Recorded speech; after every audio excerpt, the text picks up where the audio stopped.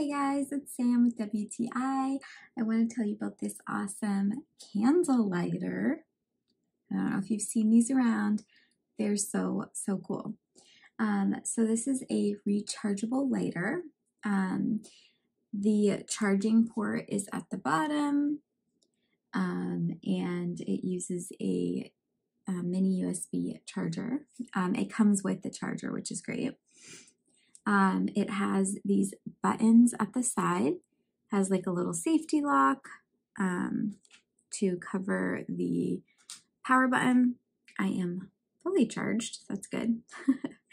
um, and then you press the button here and it lights your candle. Let me show you how it works. So here we are. I'm going to press the button. It's literally as easy as that. Love this because it is easy to use.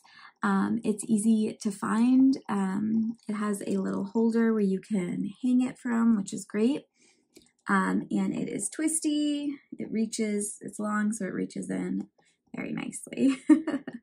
I really love this. I think you should try it out. And that is my point of view.